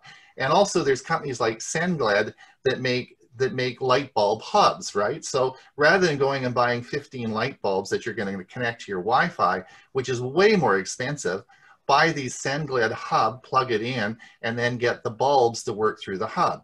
It works better because they're connected, as I said, like a mesh system rather than relying on your Wi-Fi.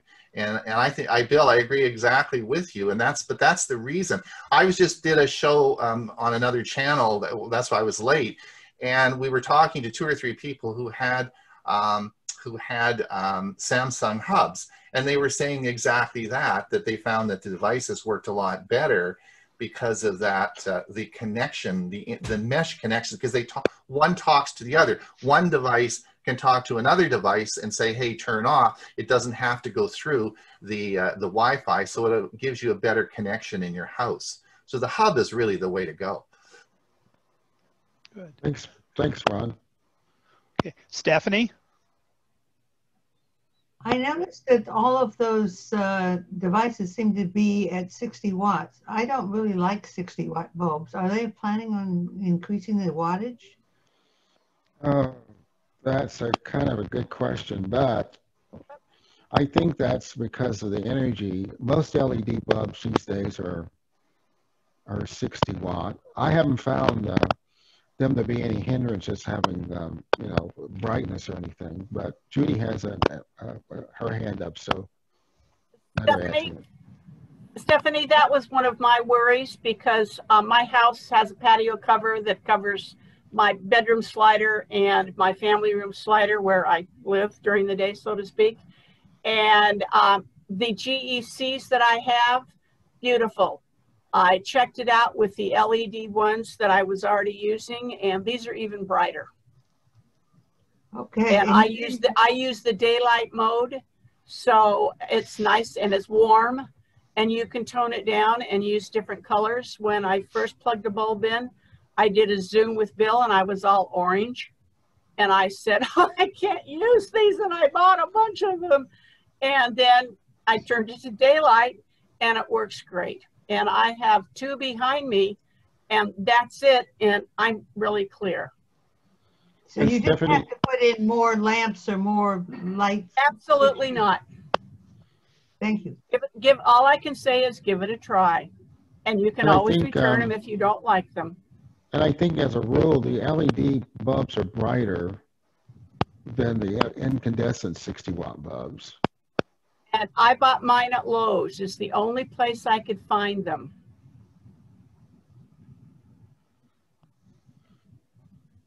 If there's not any more questions, uh, there's a couple things I have here in my chat that I'd like to address. Go ahead. Uh, one is a question about our hubs hardware or software. It's hardware. which uh, has software built into it like Z-Wave and Zigbee. Um, then uh, there's another question here. Why aren't you warning about these apps reading your cell phone data? That's something that you can control when you install your uh, your app. You can tell it whether what you want it to be, what you want it to access, and what you don't want it to access. Um, at least that's how I've been doing it. On the Android, it will tell you. It says, to, uh, and you also can uh, uh, have it always accessing the um, data or only accessing the data when it's required. And uh, Steve, you can you might want to clarify that if you're still here.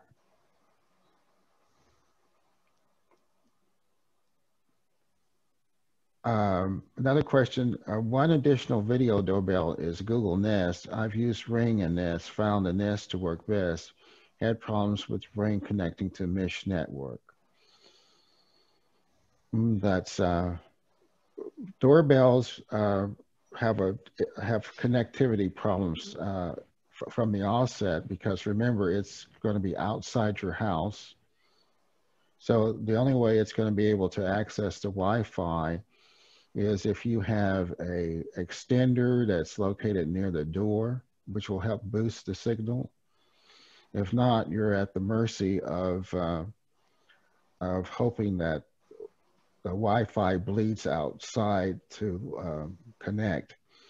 The best way you can check your uh, connectivity is use your smartphone to see how um, fast, how much Wi-Fi you're actually getting outside that uh, that that space into that space. But there's a there's a built-in uh, issue with that, and I guess some connect better than others. What I have a comment about the thermostat. Uh, my kids got one. We all have Nest thermostats, and the middle kid got a new AC heating system. And lo and behold, she could either have, she could only have air conditioning. The heater part didn't work, and her husband worked and worked and worked, and finally called the people who put in the AC, and he said, Oh, Nest doesn't work with everything, just like Bill said in his presentation. He said, I recommend a Honeywell. Well, the Honeywell was considerably less expensive than the Nest is, that they, of course, can't return. And uh, her husband, who's not the, you know, techie person in the world, easily put it together. And the it, it changes colors, like that makes a difference because it's in their hall where nobody can see it. But it's identical to the Honeywell thermostats we both had before we went to the Nests. And like Bill said, Nest wants to know this and they will send them a workaround. But by the, time I got involved with it to tell them that, they'd already installed the Honeywell. So beware, check and make sure that it works with your AC heating unit. Now there's a, there's a schematic on uh, those uh, sites that sell thermostats that will uh, identify the wires that's required to connect it. So as I said earlier, what you need to do is uh, find out, take the current cover off your thermostat and find out what wires are being uh, used and make a note of that. Then go to the website of the of the thermostat you want to purchase and match those wires up with it. Uh, the, so another question here, uh, what has been done to prevent the police from accessing those door cameras? Um, I, I don't have an answer for that. Uh, what are some of the web security issues with using smart features? What's the risk of being hacked? I think, um, uh, uh, um, wasn't Ron, it was um, Pierre had some very good suggestions is that make sure your router is up to date. You have the latest firmware, strong passwords, all those things uh, uh, that you do under normal circumstances would apply to your your smart devices.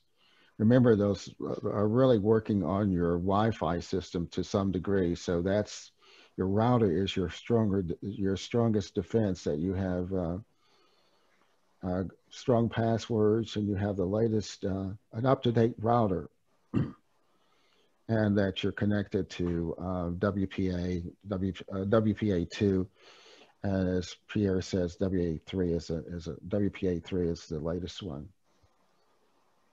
Uh, someone says, uh, I haven't mentioned Hubitat Elevation. That is an up and coming hub that's created by, uh, by users. Uh, wasn't, I'm not familiar with it, but uh, that's something I will take a look at. Um,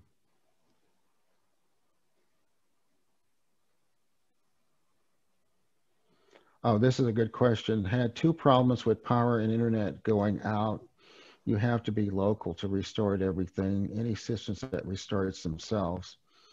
Well, um, in my situation where I've lost power, the um, devices always reconnect themselves with no problems.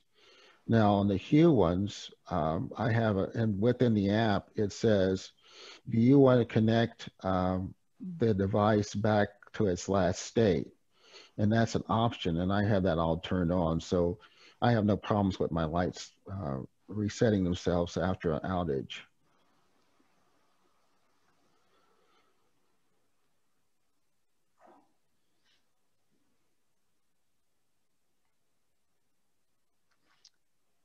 Anybody else have some questions? That's out of my off of my list and Judy's list.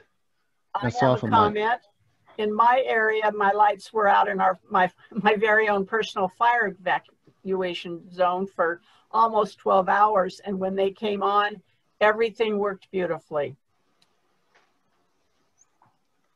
Yeah, I have no problems with um, with the the thermostat or the doorbell or any of those things reconnecting, and I have probably about 25 uh, Wi-Fi devices. In fact, I'm almost all Wi-Fi. I have no uh, Ethernet connectivity for anything.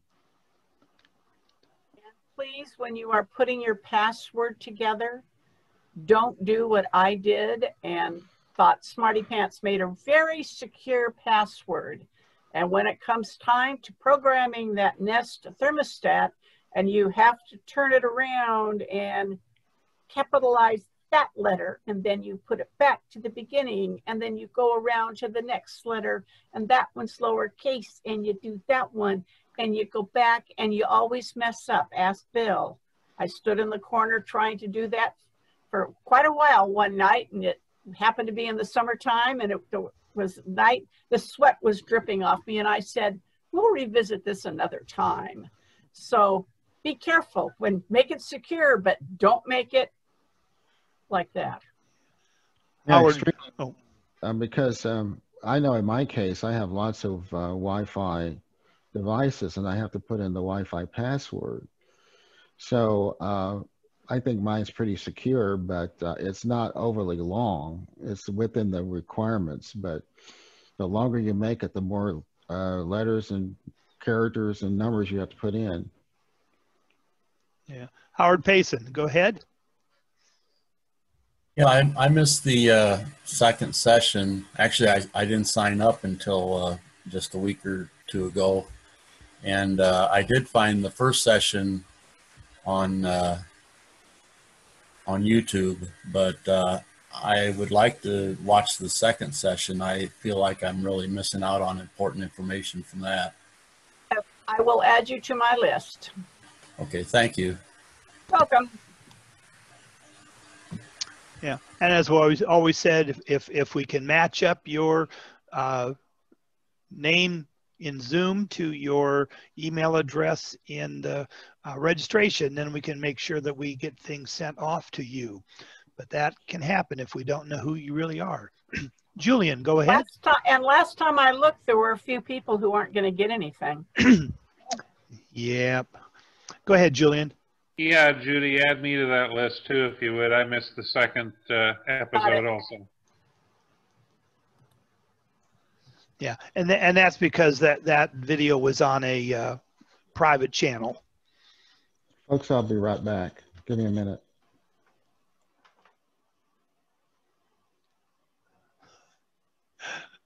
Judy, any kind of uh, public service announcements while we wait for Bill? Yes, I will. I will do a PSA here for our good friend Bob G, who, as far as I'm concerned, doesn't have a last name. Um, I'm Ju- I'm Judy T, and he can be Bob G. If you have not had Bob G's 2020 security presentation, there is still the month of December. If you are looking for uh, something for your meeting, as usual, it is absolutely excellent. And remember, next October, that would be October 2021, when we all will still be doing this, probably at home. And um, he has the month of October devoted to Zoom presentations. Uh, it's National Cybersecurity Awareness Month. And this year he was well over 20. And as I tell people, he finally got to Australia without 19 hours of flying. And um, some of his October ones fell over into November because the October days had too many people, uh, you know, having a presentation. He can do up to three a day, you know. So bear that in mind. They are always excellent and they change, it actually they change from month to month because he keeps updating it. And if you can say a security presentation is fun, Bob G's are fun. It makes you laugh, you get some jokes, you get some funnies, and you come away going, I didn't know that about that. Oh, gee, that's something new. And that happens every time he gives a presentation to my group, and I keep my people up on security. And by golly, he's always got, a, I take notes. He's always got many things that are brand new to me. So please take advantage of him because he loves to give presentations. Jeff Meyer, go ahead and unmute and share with us. Uh, yeah, concerning, concerning those uh, thermostats, I was just, uh, I, I just wanted to state that depending on the thermostat, like the uh, Nest E compared to the third gen, it would, each of those, uh, E has less contact, if you want to say, on the back compared to the third gen, which has a lot more to, to handle the air conditioning and the heating. So that's what makes the difference on those. So each each one, and the newest model they have coming out, which is, which, uh, uh, which, which hasn't been released yet, but a fourth. Uh, they have a fourth gen coming out, which will which which has even less. It's just like the it's just like the E. It's just uh, but uh, but it's gonna have less too as well. So. But that's but, but that's what you have to look for. You, get, you have to look to see what that plate has in back for all hooking up of all your connections in the back. Yeah. As Judy has mentioned, you know, everybody has to do their own research because what, what might work for one doesn't always work for another. Uh, Julian? Yeah, well, Bill, oops, I was going to say, well, Bill is gone, but he's back. Uh, just yeah, just really a quick sick. ring story. I'm fine now. Good. Uh, Good. quick ring story. The first time I used the communication part of my ring doorbell, I was stretched out on the couch and and didn't feel like getting up to go to the door. But uh, a guy was at the front door, wanted to know if he could borrow my water hose to uh, water a tree they were putting in next door. I said, sure, go ahead. And the fun thing was, I was in New Orleans at the time, and and, and, and my and the hose was in uh, by Des Moines. Very good. Bernice has a question. Unmute yourself, kiddo. Okay. um, yeah, I, I have two iPads. And when I'm on Zoom, it uses a lot of memory and it goes dead sometime in the middle of a Zoom. It, it happens um, when I'm doing other things on it too. Uh, is that a problem or? Your battery's going weak. It's not as strong as it used to be. My uh, question is eh, how old they is are it? older. Yeah, they there you go. IPads. Yeah. Time for new ones. Or or plug it in while you're using it so that it keeps charging itself. Okay, I'll try that. Okay, th thank you. I guess I need a new one. oh, they don't have Black Well, we are at the two o'clock hour. We'll leave the uh, chat box open for a minute or two. If there's no other questions, I'll remind you that we will be back here in one month for the final workshop of do it yourself or let somebody else do it. Um, you will get an email giving you the link to this uh, recording that we've made today so you can review things. Uh, let's see, the um, Linux workshop will be next Saturday or next Wednesday, and then we'll take off the Wednesday before Thanksgiving, and then we'll be every Wednesday in December back and forth between Linux and home automation. And I will do a far ahead plug that we will be having a very, very special workshop in January for what is going to be happening. Judy's going to host that one, and we're going to invite all the officers to come in and discuss where we've been, where are we going, and how are we going to get there. Anything else, Bill? Actually, actually oh. it's officers, members, anybody who wants to come and share their two cents worth. Okay, I forgot that we opened it all the way up. So yes. Um, Bill, any final comments? No, uh, other than thank you so much for attending and um, hope to see you uh, for the final session of uh, our home automation workshop and um, appreciate all your comments. I'll just add thank you very much for the presentation and for all the work put into it. Second that, third that. Thank, Thank you. you. Thank you. Well put on. Okay. If any of you happen to be in the western side of Florida, take care of yourself. If you're on the eastern side, like my sister, in a couple days, take care of yourself because it's coming your way. I think that's Again. it for today. And thanks everybody for attending. And happy Veterans Day. Happy Veteran. And thank you, Bill, for your services too.